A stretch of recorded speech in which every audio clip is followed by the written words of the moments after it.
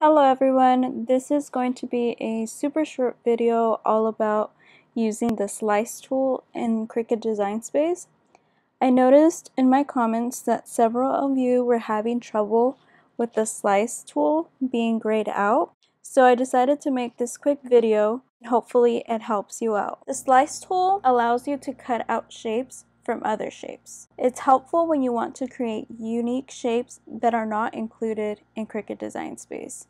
You can also use it to get rid of excess pieces. And don't worry, I'm going to show you examples of what I'm talking about. But the most important thing to remember is that you can only slice through two layers. If you have more than two layers selected, then the slice tool will be grayed out. Again, you can only slice through two layers. So basically, slicing is like using a cookie cutter. I'm going to go ahead and insert a square and a star. And let me change the colors just so we can see everything. Okay, so in this scenario, the square is going to act like our dough. So it's all rolled out and it's ready for us to cut out cookies. And let's pretend that this star is our cookie cutter. So to slice, what you're going to do is place this star or whatever shape you're cutting out over the other shape which in this case is a square. And once you have it where you want it, you're going to drag your mouse and select both. And if you look over here on the layers tab, you see that the star and the square are selected. And the way you know that they are selected is because it's grayed out here. So now if you look down here at the bottom, you see that you have the option to slice. So you would go ahead and click on that. And now you would get your cookie cutter, which is the original one, your new piece, which would be like our cookie if we were making cookies, and then this is our leftover dough. Again, if we were making cookies. So now you could get rid of the slice result or the original because they are the same thing. And that is how you slice. Now, the slice tool is nice if you want to get rid of some excess. For example, let me go ahead and insert a square and a heart. And again, let me just change the colors just so we can see everything better. So here I have my heart and let's say that I wanted to cut out a section in the middle of the heart so I could put my name in there. So if you see if I drag it over, it's in the back. But what I want to do is right click and send to the front. Now it is on top, just like if we were cutting cookies. I'm sorry if I keep repeating that, but that's the best analogy I can come up with. Okay, so let's say that this is where I want to slice. Again, I would highlight both by dragging my mouse over. I can see that they are both selected because it's gray over here in the layers tab and I can go ahead and slice. And then I could just get rid of all this excess just like that. And then I can go ahead and add my text. This is just an example. And let me zoom in here. If you can see, I have these little edges right here. Now let's say I wanted to get rid of those. well, there's no erase button where I could just erase it out. So what I can do is take a shape. So let me just do a square and shrink it down and place it right there. Let me really zoom in so you guys can see.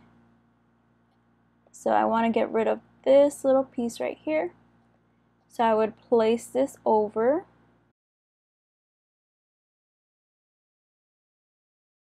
and highlight both. And I can see that this layer is selected. So I have the square and my heart selected.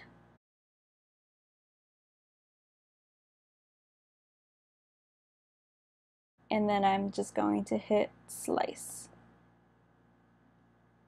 And now if I lift it I can see that it did cut it out So I would be able to get rid of this now and this little piece and this little piece. And now it's a straighter line instead of that edge coming down.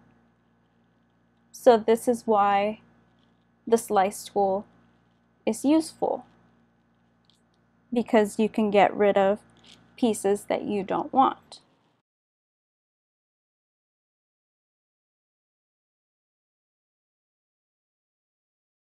Now, a lot of you have been having trouble and saying that the slice tool is grayed out. So let me give you an example of that. So here you see I have three shapes. Now let's say I wanted to attach these.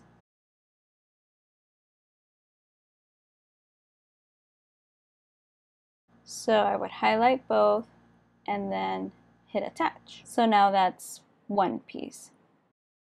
And if you see it moves. Now let's say I wanted to cut a star in the square. So I would send this to the front, place this wherever I want to slice, and then highlight both.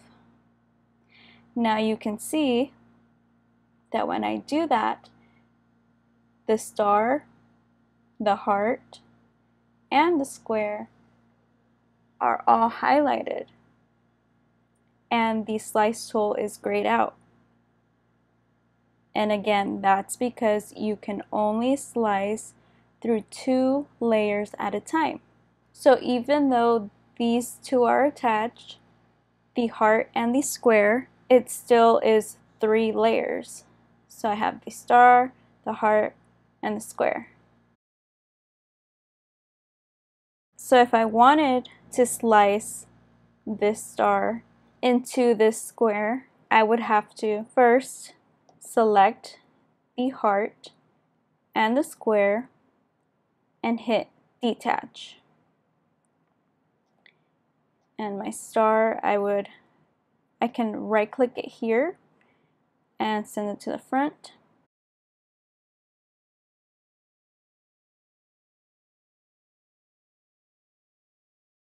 And now if I go and highlight both, I can see that only two layers are selected, the star and the square. So now I can slice. So I would go ahead and slice it, remove all this excess, so just hit the X. There is my star cutout and if I wanted these to be attached like they were then I would just highlight both and hit attach. So that's the little tricky part of Cricut Design Space that you can only slice through two layers at a time. So if you're having this issue of the slice tool being grayed out, then it might mean that you have more than two layers selected. Overall, I think the slice tool is a very helpful option that Cricut Design Space offers. I wish that it didn't have that stipulation of only being able to cut through two layers at a time. Hopefully in the future Cricut changes that, but for the time being, unfortunately, this is how it is. I hope that you liked this video and that you found it helpful. If you guys want to see more basic videos like this one, let me know in the comments down below. If you liked the video, please give it a thumbs up. And of course, I would love it if you subscribed. Also, I just want to let you guys know that if I sound a little off, it's because I'm going through a lot right now. There's been a death in my family, and I'm trying to slowly get back into things. So if you do notice that, you'll know why. Anyways, thank you guys so much for watching, and I'll catch you all in my next video.